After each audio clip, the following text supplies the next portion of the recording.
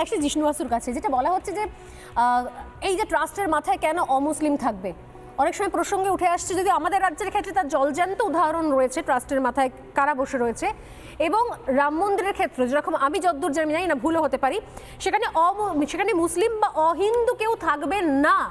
থাকতে পারবেন না। এরকম কিন্তু কোথাও কোনো লাইন বা ইনস্ট্রাকশন নেই। ঘটনাচক্রে কয়েকজন রয়েছেন কিন্তু সেখানে কি অন্য কেউ থাকবেন না সেরকম নেই? দেখো আমাদের আমাদের রাজ্যের ক্ষেত্রে তারকেশ্বর হোক বা দক্ষিণেশ্বর হোক সেখানে কিন্তু আইন করে বলতে পারেন না যে আমি- আমি- একটু একটু একটু নাহলে ভুল ব্যাখ্যা দেব। আমি একটু আমি যেমন আজকে যেমন ওয়াকআপ বোর্ডে না না ওয়েসি কথাটা শুনুন ওয়েসি বলছেন যে অমুসলিম কেউ থাকতে পারেন না যিনি পাঁচ ওয়াক্তের নামাজ পড়েন না তিনি থাকতে পারেন না। এক মিনিট সময় আপনার আপনার এই থটটিকেই আমি একটু আমি একটু এলাবোরেট করতে চাইছি। প্রথম কথা আমি মনে করি যে রাম মন্দিরের যে কমিটি সেখানেও রাষ্ট্রীয় অনুপ্রবেশ ঘটানো উচিত নয় সেখানে নিয়েও কোনো আইন তৈরি হওয়া উচিত নয় যে ওখানে একজন মুসলিমকে ঢোকাতে হবে।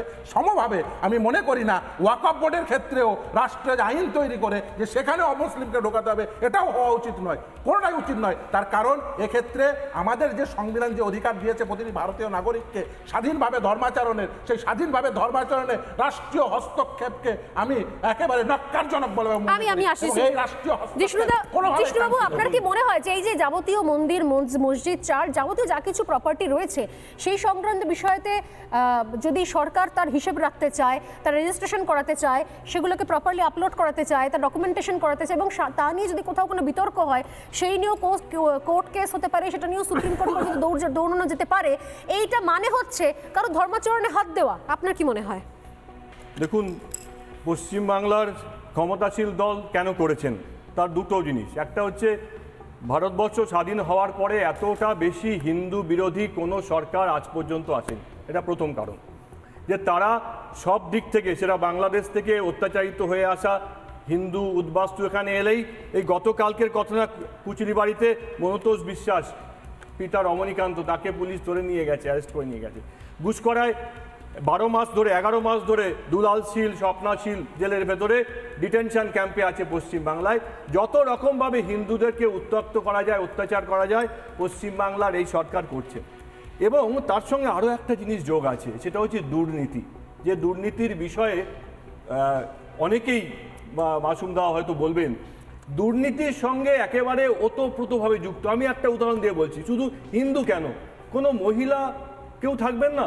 ওয়াকা বোর্ডের ধরুন স্টেট ওয়াকা বোর্ডের মেম্বার কোনো মহিলা মুসলমান মহিলা থাকবেন না। এই যে একাশিটি সাচার কমিটির রিপোর্টে সুপারিশ ছিল। সুপারিশ ছিল। এই যে উত্তর দিচ্ছেন না কিন্তু। এই যে একাশিটি অনগ্রসর হ্যাঁ প্রশ্ন করছি। অনগ্রসর নেই তো। নেই নেই তো। না, না, এখানে- বিষয়টা ভুল হচ্ছে। না না না আমরা আমরা এখানে- এখানে যে যুক্তিপূর্ণ কথা বলছি সেখানে কিন্তু বলছি না যে মহিলাদের কিন্তু কারোর কথা শোনা যাবে না। শেষ করে নিন আপনি শেষ করে নিন নিশ্চয়ই উত্তর দেবেন। ঠিক আছে, ওই বলছি না। বলুন। আপনি যদি আমাকে প্রশ্ন করুন তাহলে আমি উত্তর ঠিক দিচ্ছি। ঠিক আমি বলছি। এখানে যে একাশিটা পিছিয়ে পড়া মুসলমান সম্প্রদায়ের নাম আছে পশ্চিমবাংলায় আমি পশ্চিমবাংলার কথা বলছি। তো এই পিছিয়ে পড়া মুসলিম সম্প্রদায়ের কোনো প্রতিনিধিত্ব আকাব বোর্ডে থাকবে না। আপনি শুধু হিন্দুর কথা বলছেন কেন? এই যে এই যে এগারোটা এগারোটা অ্যামেন্ডমেন্ট আছে, যেটা central Waqf committee state Waqf board এবং তারপরে এই যে দুর্নীতির জায়গা, কেন তৃণমূলের এত লোভ, এত আগ্রহ? যে মুতাল্লিসদের সম্পত্তির প্রতি বছরের রিটার্ন জমা দিতে বলা হয়েছে। প্রতি বছরের রিটার্ন জমা দিতে বলা হচ্ছে। যে কারোর আঠেরো তারা বালি হয়ে যাচ্ছে ওয়াকাপ মুসল গরিব মুসলমানদের দেওয়া টাকাতে। ঠিক। আর আরেকজনের আঠেরো তলা বাড়ি হয়ে যাচ্ছে তার হিসেব তো দিতে হবে রাষ্ট্র তার হিসেব চায় সারা ভারতবর্ষ তার হিসেব চায়। এই যে এগারোটা এখানে ধরুন ওয়াকাপ সম্পত্তি সায়েন্টিফিক অ্যান্ড ডেভেলপমেন্টের জন্য ব্যবহার করার কথা বলা হয়েছে under direction of the controller মানে ডিস্ট্রিক্ট ম্যাজিস্ট্রেটের তো এইটার মধ্যে এই যে এগারোটা অ্যামেন্ডমেন্টের আপনি একটা পয়েন্ট বলুন তো যে এই এগারোটা অ্যামেন্ডমেন্টের কোনো একটা পয়েন্ট কারোর স্বার্থে বিরোধী।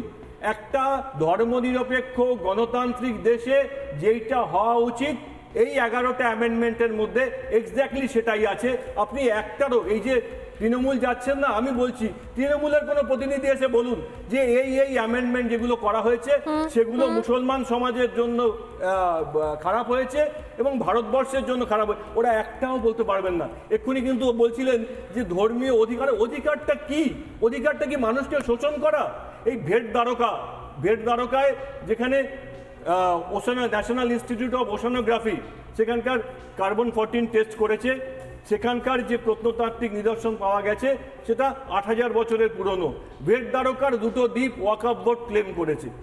এই প্রত্যেকটা জিনিসে এই যে উনি বললেন না কেসে যেতে পারে না ট্রাইব্যুনালের কাছে চল্লিশ হাজার নশো একান্নটা কেস আছে সেগুলো সমাধান এর জন্যই করা যাচ্ছে না। যতক্ষণ না পর্যন্ত এই অ্যামেন্ডমেন্ট হচ্ছে ততক্ষণ পর্যন্ত কোনোটা সমাধান কেসের তো অনেক সংখ্যা তো অনেক রয়েছে আমার নিশ্চয়ই সেটা শামিমদাও জানেন। আমি গাজী মাসুম আক্তারের কাছে আসব এবং তারপর নিঃসন্দেহে প্রত্যেকের থেকে আমি রিয়াকশন নেব। সময় আছে চিন্তার করার কোনো কারণ নেই। কিন্তু আমি তার আগে তৃণমূলের দ্বিচারিতের বিষয়টা যেটা কিছুক্ষণ আগে তুললেন আমাদের আলোচনাতে উঠল এবং জিষ্ণু বাসু খুব স্পেসিফিকলি তুললেন। আমি জাস্ট কয়েকটা পয়েন্ট অ্যাড করতে চাই তৃণমূলের এই যাবতীয় দ্বিচারিতা নিয়ে।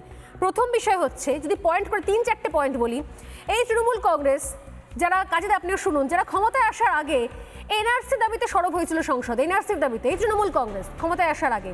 ক্ষমতায় আসার পরে কি করল? এনআরসির বিরুদ্ধে আন্দোলন শুরু করে দিল। এটা গেল এক। নাম্বার টু ক্ষমতায় আসার আগে খুন, ধর্ষণ, বিভিন্ন ঘটনা ঘটলেই, অপরাধমূলক ঘটনা ঘটলেই তারা বলতেন, সিবিআই তদন্ত চাই। ক্ষমতা আসার পরে কি বলল? বারবার সিবিআই তদন্ত কেন রাজ্য পুলিশ কি পারছে না? নাম্বার থ্রি ক্ষমতায় আসার আগে তারা ইভিএম এ ভোট চেয়েছিল। যে ব্যালটে নয় ইভিএম এ ভোট হোক। ক্ষমতা আসার পর কি? ইভিএম এ আপত্তি। প্রত্যেক ক্ষেত্রে ছাত্রছাত্রী দুর্নীতি।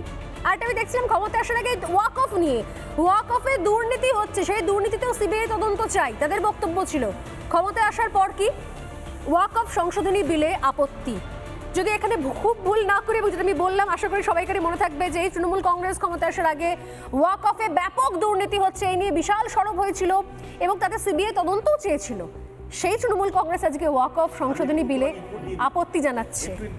নানা ধরনের কন্টেন্ট দেখার জন্য লাইক করুন শেয়ার করুন আমাদের ফেসবুক পেজ সাবস্ক্রাইব করুন আমাদের ইউটিউব চ্যানেল পাশাপাশি অন্যান্য ব্রেকিং নিউজের জন্য অবশ্যই চোখ রাখুন রিপাবলিক বাংলায়